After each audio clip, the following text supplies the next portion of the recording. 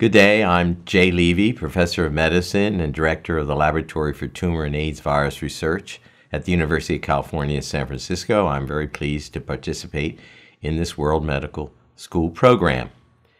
I'm going to discuss the discovery of HIV and some of the early findings dealing with immunology, the immunologic approach, and, and the virus itself. First, let's say, how does the virus differ from other epidemic pathogens? How do, it directly attacks the immune system, which many viruses or pathogens do, but the important thing, it involves the incorporation of the viral genome into the cellular genome. There, it creates a chronic infection and can take up to 10 years before showing disease. It involves an agent that frequently changes and it can recruit other cells into the infection. Now, my laboratory got involved studying eh, patients with what then became known as AIDS in this area of San Francisco around Castro Street. And we began working in the early 1980s in a small room and took white cells from these individuals uh, from their blood and began looking for something that would indicate an infectious agent. And it was during those studies that we noticed this type of cytopathic effects or cell killing effects, in which you see at the top this balloon form in which the cell membrane is ballooning out because sodium potassium ions are coming into the cell uh, carrying water because the integrity of the cell membrane has been disturbed by the virus.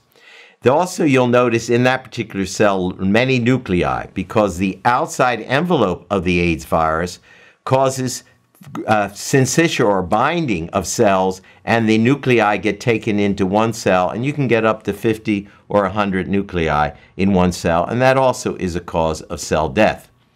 Working with these cells, we were able to do electron microscopic pictures, and we noted the presence of these particles, which were similar to retroviruses and in the family of lentiviruses. And we called this retrovirus the AIDS associated retrovirus, or ARV.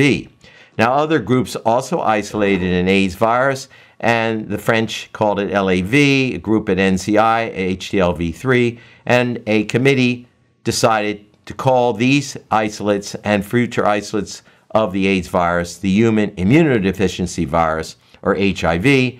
And if it the virus came from a certain city like San Francisco, you'd give it a subscript like SF. Now let's talk about what happens with HIV infection. So you have the virus, you have the cells it infects, and how does the infected person respond against the virus? Here is an animated picture of what happens when HIV attaches to the cell membrane. It, it binds to certain receptors.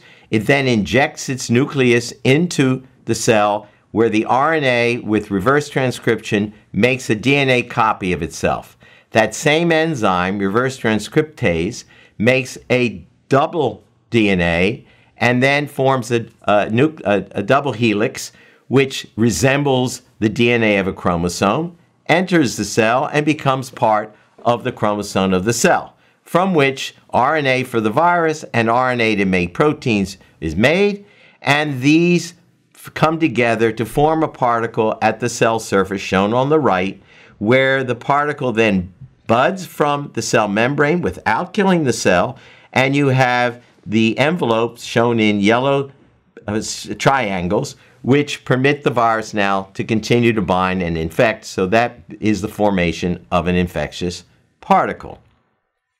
Looking at it again, HIV then attaches to the cell membrane, and generally CD4 is the molecule it attaches to, but it needs other molecules attachment sites, and these can be uh, uh, these can be chemokine co-receptors, and it binds to these and then can bring a fusion particle from HIV close to the membrane again, and the particle fuses with the cell. Then the cell injects its nucleus into the cell. Then the virus injects the nucleus into the cell and begins that replicative cycle.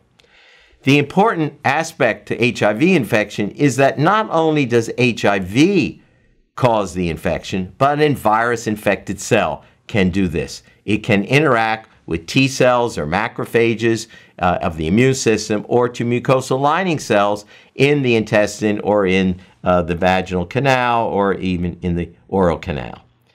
So, where are these virus infected cells? On the left panel, you see seminal fluid, and there's one infected cell there shown by PCR, the RNA being made by that infected cell.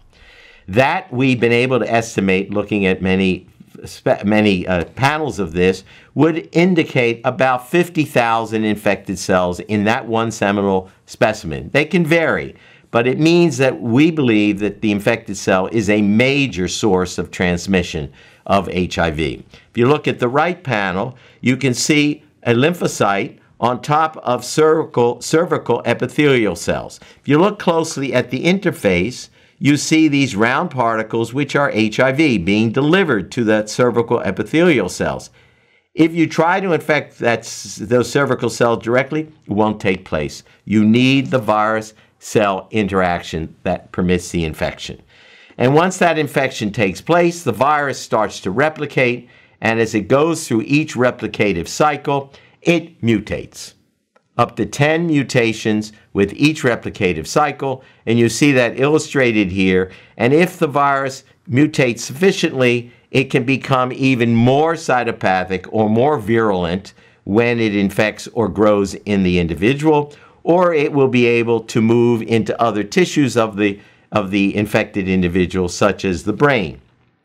We now know, after many years of research, that HIV, depending on the virus that you are infected by, can cause infection in many different cell types of the hematopoietic or bone marrow system, the skin, the brain, the heart, the kidney, the liver, the testes, the prostate. So, this virus is what we call polytropic and can create reservoirs in these tissues and can give disease in these tissues.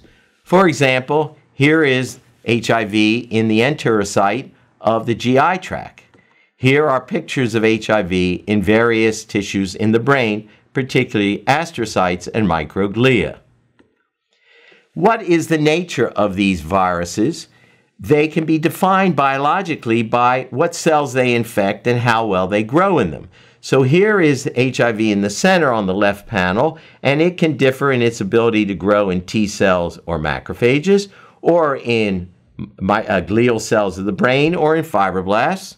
And when it infects and replicates, it could replicate rapidly to high titer, as shown in blue in the middle panel, or slowly, as shown in the pink color, and replicate to low titer. We now know the virus that replicates rapidly to high titer is much more virulent, causing the cytopathic effects you see in the panel on the right, and when that virus emerges, because it can evolve and emerge over time in an individual, that person then advances rapidly to AIDS. What are the biologic causes that we get this spread of HIV uh, in causing AIDS? The infected individual can remain healthy for many years. It can be up to 10 years before you see symptoms of HIV infection.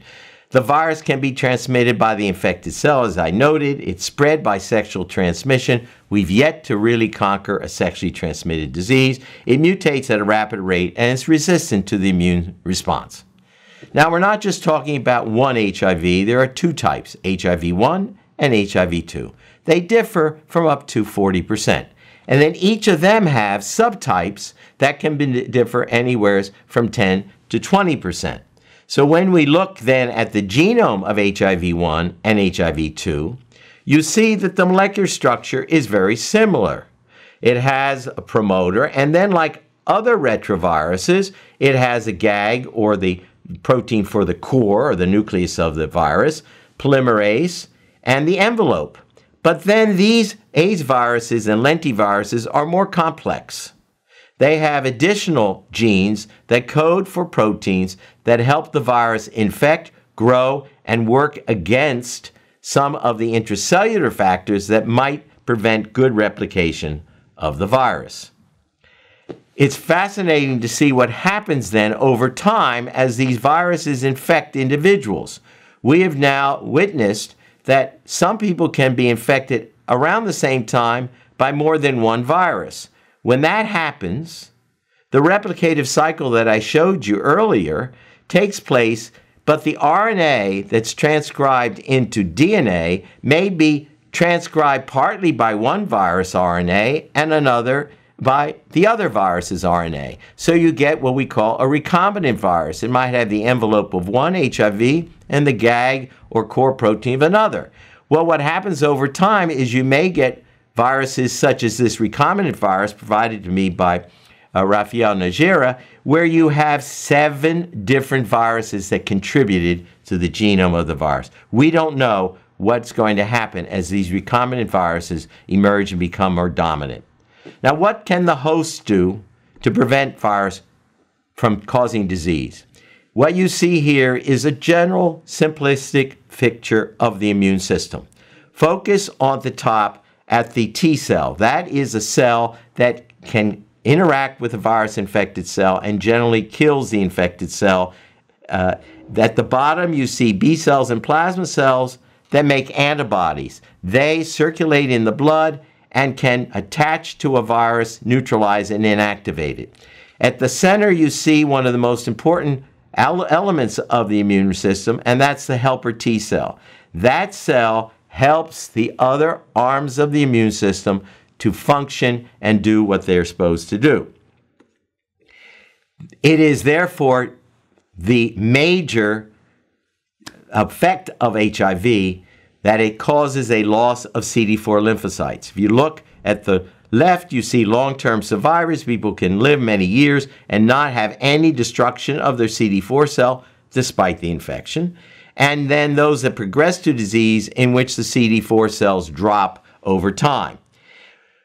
We, very early in our work with HIV, found, had one clinically healthy man came to see us. And in October of 1984, we put his white cells in culture in the laboratory and we isolated virus. But he was perfectly healthy. He remained healthy, and after February of 1985, we no longer could get virus out of his white cells in culture. And that continued up until the present time. At, in February of 1985, he only had 300 CD4s, which is much too low. The normal is 600 to 1200. But over time, he recovered the CD4 cells. He maintained antibodies to the virus, so we knew he still had the virus, but he remained healthy. He became a model for us, and we wanted to know how could he be controlling the virus. So, going back to immunology, you know that the T cell can be divided into two major subsets. CD3 recognizes the T cells, an antibody that recognizes the CD3 molecule.